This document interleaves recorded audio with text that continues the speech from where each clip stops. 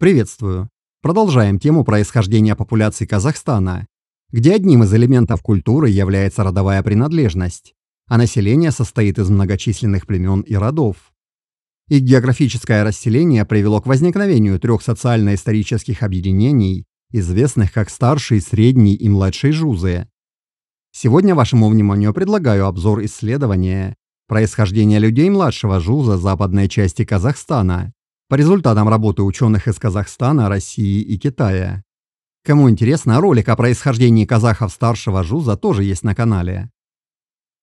Младший жуз состоит из трех крупных племенных союзов – Алимулы, Баюлы и Жетеру, численность которых составляет примерно 2,5 миллиона человек, или около 20% казахского населения на территории Казахстана, хотя современная перепись не включает родоплеменную принадлежность. Представители младшего жуза проживают также в Узбекистане, преимущественно в Бухарской и Самаркандской областях, и в России, где род Жагал-Байлы из объединения Житыру известен среди нагайцев. В фольклоре существует несколько различных гипотез о происхождении алимулов, баюлов и житыру из младшего жуза. Первая гипотеза предполагает, что шесть родов алимулов, 12 баюлов и 7 житыру возникли независимо друг от друга и, соответственно, без общего предка по мужской линии. Согласно второй гипотезе, алимулы и баюлы связаны между собой и имеют общего предка Алау-Батыра, эмира из племени Алшин, жившего во времена хана Золотой Орды Джанибека в XIV веке. Исторические и этнографические данные позволяют предположить, что племя Алшин и средневековое племя Алчин, упоминаемое в составе 92 кочевых узбекских племен, представители которого жили в Монголии до XIII века, фактически были одной племенной группой. Тогда как Житыру – это объединение семи родов, не связанных с алимулами или баюлами, а происходящее из родов Среднего Жуза, которые были объединены Тауки-ханом во второй половине VII века. Третья гипотеза основана на легенде об общем биологическом отце-основателе Алау для всех трех племен. И четвертая гипотеза гласит о том, что алимулы и баюлы являются потомками калмыков-таргутов. И вот какая из этих гипотез получила подтверждение, станет ясно из этого обзора. Кстати, если какое-либо племя или род называю неправильно, уж не обессудьте. Не каждый день приходится оперировать этими терминами. Предыдущие исследования продемонстрировали высокую частоту гаплогруппы C2A1A2 M48 в популяциях Центральной и Северной Азии, а наибольшая ее частота 35-70% наблюдается у групп, говорящих на палеоазиатских языках и у тунгусоязычных популяций. С высокой частотой линия C2A1A2M48 также встречается у монголо- и тюркоязычных популяций, а у казахов ее частота варьируется от 50 до 60%. Гаплогруппа C2A1A2M48 появилась примерно 15 тысяч лет назад, а позже распалась на подветвие, около 4 тысяч лет назад.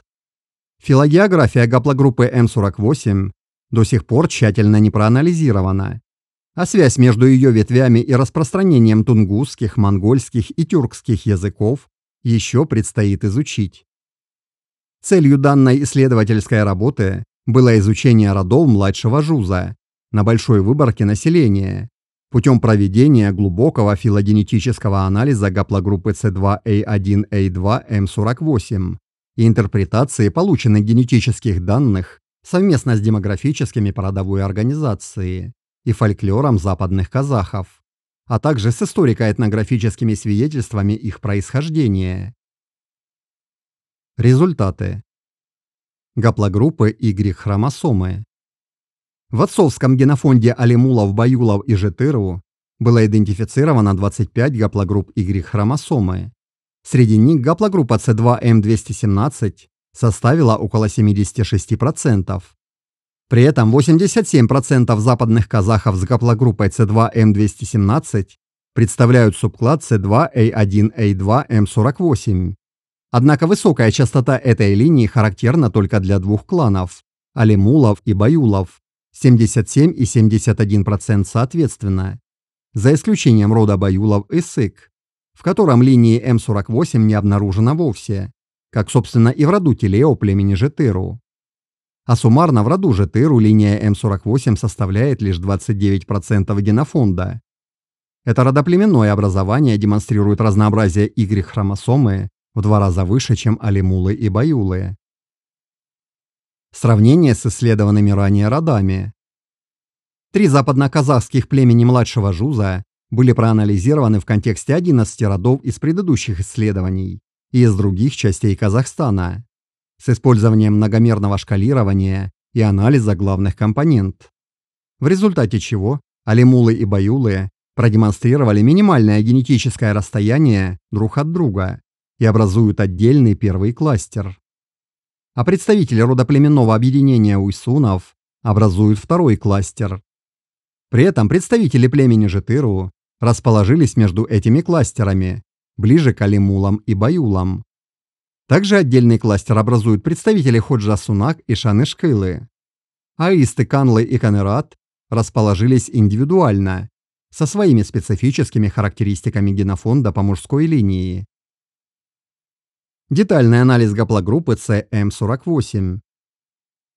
Более подробное изучение линии C2A1A2M48 с высоким разрешением показала, что филогения этой гаплогруппы представлена двумя ветвями – B90 и M77. B90 характерна для популяции северо-востока Сибири, а М77 для Центральной и Северной Азии. Ветвь 77 в свою очередь дала начало двум подветвям – Z44147 и F6379. Подветвь Z4447 распространена среди тунгусоязычных ивенов и ивенков, а также монголоязычных бурят и монголов. А F6379 характерна для калмыков и айратов. К этой подветви относится и субклад F5485, который обнаружен у 50 линий западных казахов, исследованных с высоким разрешением. Сеть, построенная по маркерам коротких тандемных повторов гаплогруппы C2A1A2M48, совпадает с субветвями, а они в свою очередь подразделяются на кластеры. В кластер альфа, возрастом 700 плюс-минус 200 лет, вошли представители племенных объединений алимулов и баюлов, тогда как представители житыру в основном встречаются в кластере бета. Филогенетический анализ гаплогруппы C2A1A2M48.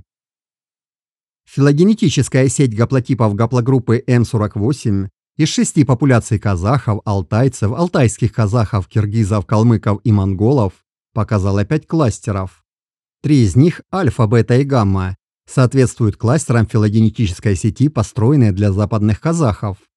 Кластер альфа образуют алимулы и баюлы. Кластер бета представители рода Табын племени Житыру. А кластер Гамма гораздо шире и охватывает калмыков, монголов, сарт-калмыков и казахов из рода Берж племени Баюлов. Кластер Эпсилон образован племенем Дулат старшего Жуза, а кластер Дельта включает алтайских казахов и восточных казахов племени Найманов среднего Жуза. Наиболее важные выводы раздела. Ветвь Y15844 разделяют сибирские татары, каракалпаки и западные казахи из племен Алимулов и Баюлов. А их ближайший общий предок жил примерно 1850 лет назад. Но при этом западные казахи образуют отдельную ветвь Y15552, соответствующую альфа-кластеру. Возраст этой подветви составляет примерно 550 лет. Калмыки, монголы и западные казахи родов Алаша и Берш из племени Баюлы образуют кластер на ветви SK1066, которая соответствует кластеру гамма. Возраст их ближайшего общего предка составляет примерно 1150 лет. Помимо этого, ветвь F12970 делится на три географически специфичных подветви. Первая. Y22657, в том числе Y21917, включает южных казахов из клана Дулат и соответствует кластеру Эпсилон. Вторая, Y21917, объединяет западных казахов из рода Табын племени Жетыру и соответствует кластеру Бетта. И третья, F9766, представлена восточными казахами из рода маркитов племени Киреев и рода Каратай племени Найманов и соответствует кластеру Дельта. Дополнительно эта ветвь включает представителя казанских татар. Общий предок всех перечисленных представителей подветвей жил примерно 2000 лет назад. Выводы. Результаты позволяют предположить, что из всех вышеперечисленных гипотез о происхождении западноказахских родов подходит только вторая, где племена Алимулов и Баюлов имеют общего основателя по мужской линии. А вот представители племени Житыру произошли от разных предков. Интересно, что гипотезы 2 и 3 прослеживают происхождение западных казахов от общего предка Аллао. Это реальный исторический персонаж, который был эмиром хана Золотой Орды Джанибека в XIV веке. А результаты независимых анализов маркеров связывают происхождение большинства западных казахов с одним общим биологическим предком мужского пола, жившим 700 плюс-минус 200 лет назад по маркерам коротких тандемных повторов и 550 плюс-минус 200 лет назад по маркерам однонуклеотидного полиморфизма. При этом, согласно генеалогическим преданиям, общий предок мужского пола западных казахов жил около 650 лет назад. Такое соответствие генеалогического фольклора полученным генетическим данным повышает их достоверность и позволяет предположить, что большинство западных казахов происходит от эмира Алау, хотя и без стопроцентной уверенности, из-за отсутствия ДНК самого Алау или его достоверных родственников. Однако не все западные казахи принадлежат к этой биологической линии. Практически весь род Житыру, а также некоторые рода Баюлов и Алимулов состоят из представителей других мужских линий. На сегодняшний день примерное количество носителей линии Y15552 составляет полтора миллиона человек. Таким образом, Эмира Алау, или как бы ни звали этого мужчину, можно назвать средневековым супердедушкой западных казахов. Хотя математические модели не предполагают каких-то уникальных условий для такого количества потомков в кочевых популяциях. Однако при этом включение неродственных линий в генофонд наблюдается в разных родах. Но наибольшее разнообразие Y-хромосом в племени Житыру лучше всего согласуется с гипотезой, связывающей его происхождение со средним жузом. Но этот вопрос авторы оставляют для следующих исследований. Помимо этого, филогенетическая близость между западными казахами в кластере Y15844 и сибирскими татарами согласуется с историческими записями и этнографическими данными о том, что племя казахов Алчин и средневековое племя Алчин Монголии были одной группой. Также в исследовании была обнаружена связь между представителями рода Табын племени Житыру и старшим Жузом, а также связь обнаружена между родами Берш и Алаша Баюлов с калмыками и монголами в рамках линии SK1066. А я на этом, как обычно, не прощаюсь. Хорошего вам настроения и до новых выпусков.